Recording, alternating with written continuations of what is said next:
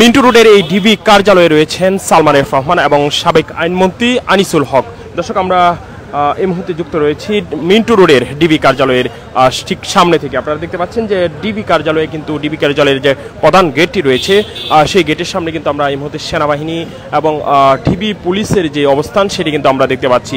আমাদের কাছে আমরা জানতে পেরেছি যে এই যে ডিবি কার্যালয় রয়েছে, এর ভিতরেই সাবেক প্রধানমন্ত্রী শেখ হাসিনার বেসরকারি শিল্প ও বিনিয়োগ বিষয়ক উপদেষ্টা সালমান এফ রহমান ও সাবেক আইনমন্ত্রী আনিসুল হক গ্রেফতার হওয়ার পর এই মুহূর্তে এখন ডিবি কার্যালয়ে ডিবি হেফাজতে তিনি রয়েছেন। গতকাল রাতেই তাদের ডিবি হেফাজতে নেওয়া হয়েছে বলে ডিবির একটি সূত্র জানিয়েছে। দর্শক, ঢাকা মহানগর গোয়েন্দা পুলিশের এডিশনাল ডিআইজি পদমর্যাদার একজন জানিয়েছেন যে সালমান এফ রহমান ও আইনমন্ত্রী আনিসুল হককে সাবেক আইনমন্ত্রী আনিসুল হককে রাজধানীর মিন্টু রোডের ডিবি কার্যালয়ে নেওয়া হয়েছে। আজ তাদের আদালতে তোলা হবে। তাদের রিমান্ডে নেওয়ার জন্য আবেদন করা হবে। তবে ঠিক কখন তাদের আদালতে তোলা হবে এই ব্যাপারে এখন পর্যন্ত নিশ্চিত হওয়া যায়নি।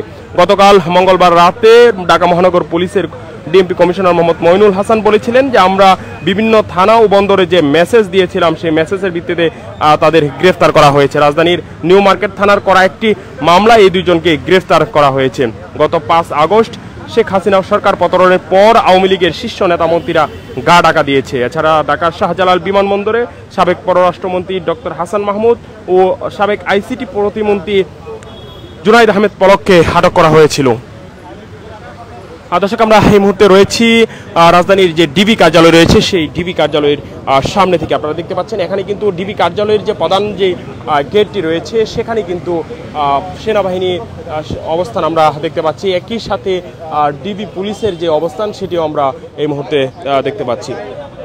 আপনারা জানেন যে গতকালকে রাতে কিন্তু গতকাল রাতে কিন্তু সালমান এফ রহমান এবং সাবেক আইনমন্ত্রী আনিসুল হককে গ্রেফতার করা হয়েছিল। তারপর পরে কিন্তু তাকে এই ডিবি কার্যালয়ে নিয়ে আসা হয়েছে এমনটাই কিন্তু জানানো হয়েছে। আজকে কিছুক্ষণের মধ্যে তাকে এই ডিবি কার্যালয় থেকে আদালতে নিয়ে যাওয়া হবে এবং আদালতে তাদের রিমান্ড চাওয়া হবে এমনটাই কিন্তু জানানো হয়েছে।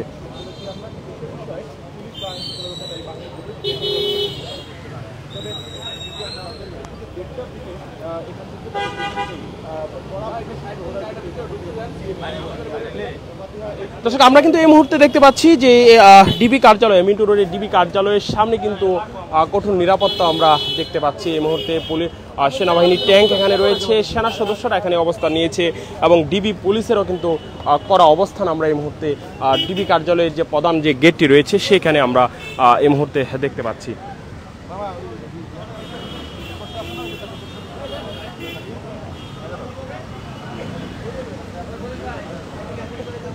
দর্শক, সাবেক আইনমন্ত্রী আনিসুল হক এবং সাবেক প্রধানমন্ত্রী শেখ হাসিনার বেসরকারি শিল্প ও বিনিয়োগ বিষয়ক উপদেষ্টা সালমান এফ রহমানকে ঢাকা মহানগর পুলিশের গোয়েন্দা বিভাগ অর্থাৎ ডিবি কার্যালয়ে নেওয়া হয়েছে। গ্রেফতারের পর গতকাল মঙ্গলবার রাতে এই দুজনকে ডিএমপির ডিবি কার্যালয়ে নিয়ে আসা হয়। ডিএমপির ডিবির পক্ষ থেকে জানানো হয়েছে এই বিষয়টি জানানো হয়েছে। আনিসুল হক ও সালমান এফ রহমানকে গ্রেফতারের কথা গতকাল সন্ধ্যার পর ডিএমপি কমিশনার মোহাম্মদ মাইনুল হাসান তিনি কিন্তু জানিয়েছিলেন। তিনি বলে, জানিয়েছেন যে রাজধানীর নিউ মার্কেট থানায় একটি মামলায় এই দুজনকে গ্রেফতার করা হয়েছে। পুলিশ সূত্র যেমনটা আমরা জানতে পেরেছি কোটা সংস্কারের দাবিতে বৈষম্য বিরোধী ছাত্র আন্দোলন কর্মসূচি চলাকালে গত ষোলো জুলাই ঢাকা কলেজের সামনে সংঘর্ষে দুজন নিহত হন। তাদের একজন ঢাকা কলেজের শিক্ষার্থী সবুজ আলী, অন্যজন হকার মোহাম্মদ শাহজাহান। এই ঘটনায় নিউ মার্কেট থানায় দুটি মামলা হয়েছে।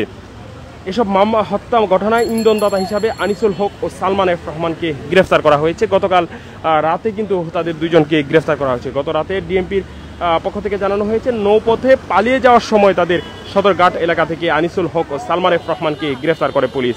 ছাত্র জনতার আন্দোলনে মুখে শেখ হাসিনা গত পাঁচ আগস্ট প্রধানমন্ত্রীর পদ থেকে পদত্যাগ করে দেশ ছাড়ার পর তার মন্ত্রিসভার সদস্য আওয়ামী লীগের নেতাকর্মীরা আত্মগোপনে রয়েছেন। কেউ কেউ দেশ ছেড়েছেন বলে খবর এসেছে।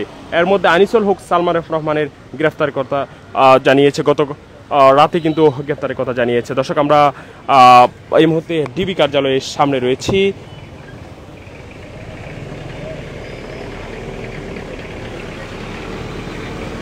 কিছুক্ষণের মধ্যেই তাদেরকে আদালতে এই দুইজনকে আদালতে উপস্থিত করা হবে কিছুক্ষণের মধ্যেই।